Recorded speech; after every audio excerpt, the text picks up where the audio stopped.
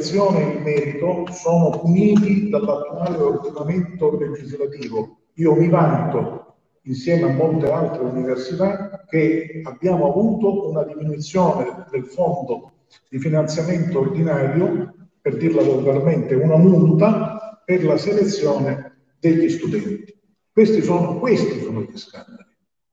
Ed è inutile parlare della corruzione dei concorsi, del fatto che i concorsi sono pilotati, se non si risolve al monte il fatto che la selezione viene punita dall'attuale sistema.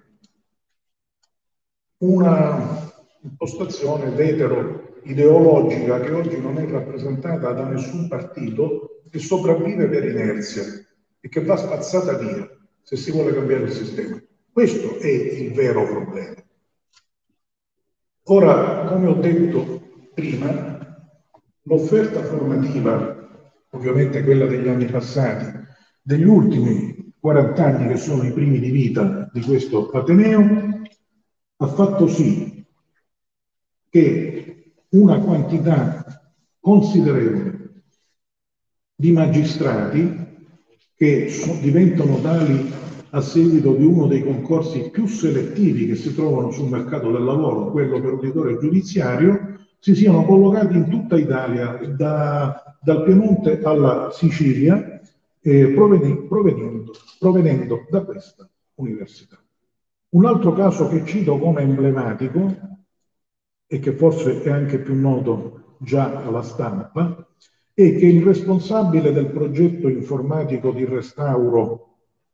della cattedrale di Notre Dame a Parigi è un laureato in architettura di Reggio Calabria. Ma anche nel campo dell'ingegneria o delle scienze agrarie potrei citare molti casi. Non è, diciamo, questo forse il luogo per dirlo, ma eh, sono i fatti che oggettivamente io chiedo alla stampa di rappresentare,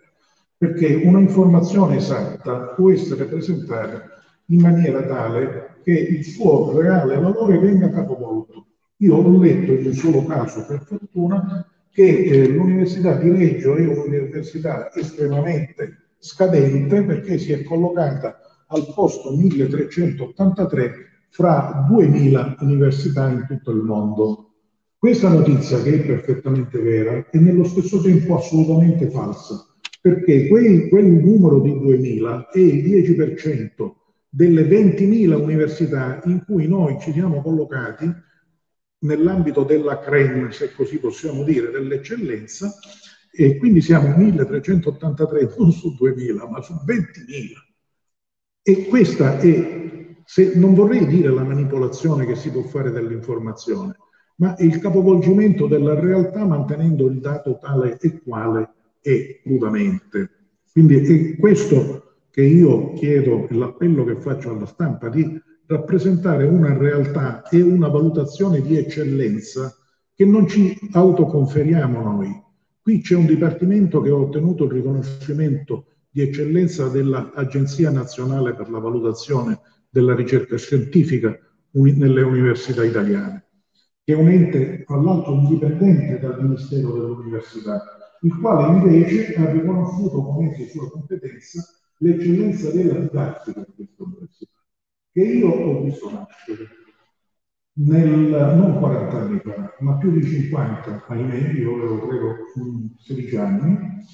eh, quando è nato l'Istituto Superiore di Architettura, che è stato diciamo, eh, il momento di gestione che poi si è sviluppato in un vero e proprio Ateneo. Sono stato anche fra i fondatori della facoltà di giurisprudenza qui a Reggio Calabria eh, con il concorso di due politici che sono dei personaggi storici e uno purtroppo è scomparso e che erano di segno assolutamente antitetico politicamente. Uno era il presidente dell'allora provincia Umberto Virilli e l'altro era il sindaco Italo Fortunatari eh, collocati agli estremi dello schieramento politico parlamentare, ma persone di grande intelligenza che hanno capito che questa esigenza della città andava sostenuta del tutto indipendentemente dalle ideologie e dai colori politici. Ora io è questo sforzo di oggettività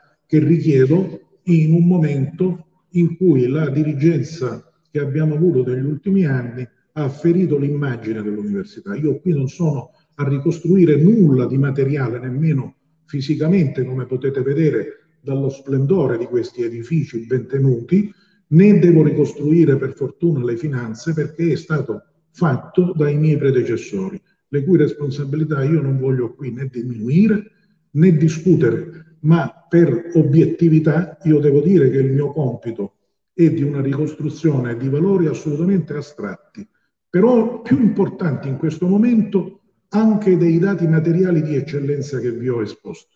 che sono quelli della dignità e dell'immagine di questa università. Con l'aiuto di tutti i colleghi, di quel 90% che non è responsabile, che non immaginava nulla di quello che accadeva, e forse questo 90% è destinato a salire numericamente in progresso eh, diciamo, della situazione processuale, io anche a nome e per la responsabilità che abbiamo nei confronti dei nostri studenti, chiedo alla stampa una rappresentazione oggettiva, razionale e non emotiva,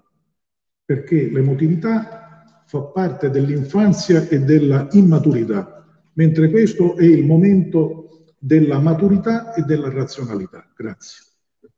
Passo la parola per coordinare la parola al direttore generale Giuseppe Zimbalatti che prima di me è rimasto solo in questo calvario assumendosi con coraggio responsabilità perché non, non scadessero le date eh, di procedure che sono, ci sono piombate addosso per la fase di eh, circa 20 giorni, eh, in un mondo soprattutto amministrativo dove l'assunzione di responsabilità è schivata da un ponziopilatismo diffuso. E grazie al Rettore per questa importante introduzione. Entriamo nel merito quindi della presentazione dell'offerta formativa dell'anno accademico 22-23. E ovviamente ad esporre la nostra offerta formativa saranno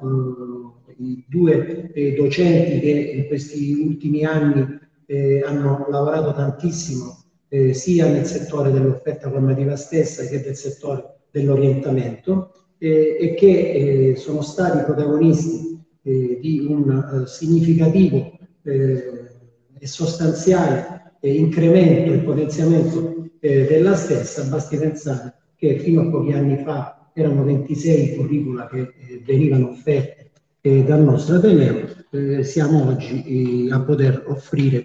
eh, ben 49 di questi curricula, atteso che si sono attivate anche delle importanti sinergie nel campo della didattica con l'Università di Catanzaro, cosa che ha consentito di appunto potenziare in maniera integrata l'offerta formativa stessa. Ma prima di passare la parola al professor Videtta ed alla professoressa Della Spina, io prego la nostra eh, rappresentante in Senato accademico, Santina Romeo, che è una studente, eh, una studentessa eh, magistrale di ingegneria informatica e telecomunicazioni, a, a, ad intervenire e a portare il suo saluto. Grazie. Buongiorno a tutti, grazie direttore, grazie lettore. Sarò breve perché diciamo, è inutile perdere molto tempo, mm, parleranno diciamo, molti. Sarò specifica sulle esperienze che mi ha offerto l'università. In particolare sappiamo bene che scegliere l'università significa scegliere il nostro futuro e quindi anche affacciarsi al mondo del lavoro. In questo periodo, soprattutto diciamo, eh, post-pandemico. Eh, le caratteristiche in ambito lavorativo richieste sono in particolare incentrati eh, sullo sviluppo, sull'informatica e sull'ICT ed è per questo appunto che il mio percorso di studi è proprio incentrato su, diciamo, su questo. Eh, oltre all'aspetto didattico che eh, è di gran lunga